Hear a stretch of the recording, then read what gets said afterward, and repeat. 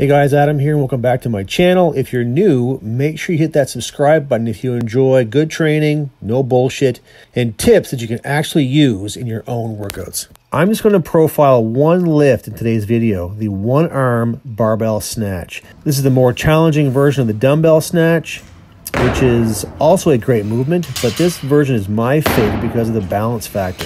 Now, before anyone thinks that this is impossible to learn or too dangerous, let me remind you that there's an element of danger in every exercise.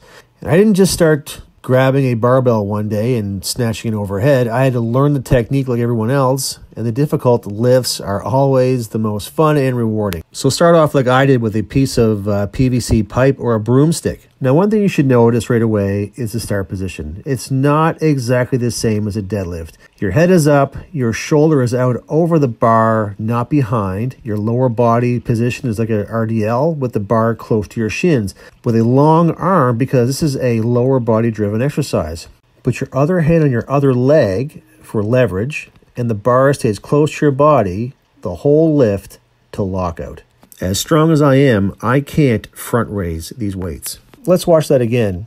You'll notice that I'm lifting the weight with my whole body, especially my posterior chain at the beginning and not my arm.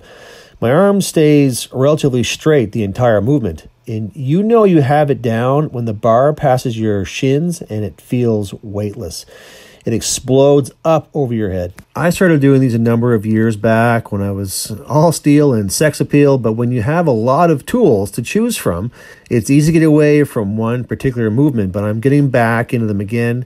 And I started doing these to help with the weight over bar event in Highland Games but they're a great unilateral exercise for addressing any muscle imbalances you may have while being a great shoulder, back, and posterior chain exercise. For today, 95 pounds was as heavy as I went with both arms. I'm right handed, so my right side is stronger, and for my purposes, being a right handed thrower, I'm most concerned with that. But I make sure that I work both sides to a point to keep everything relatively balanced. We all have our stronger and weaker sides.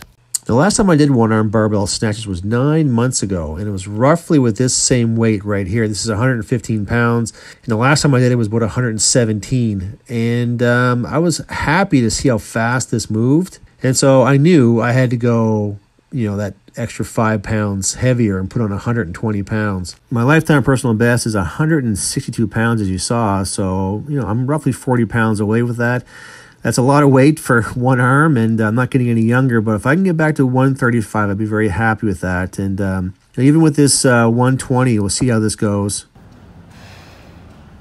I thought it went very well, but I could tell that it was 120 pounds above my head. So, with that, I hope you guys will work these into your routines and stay tuned for episode uh, 92 of The Ways.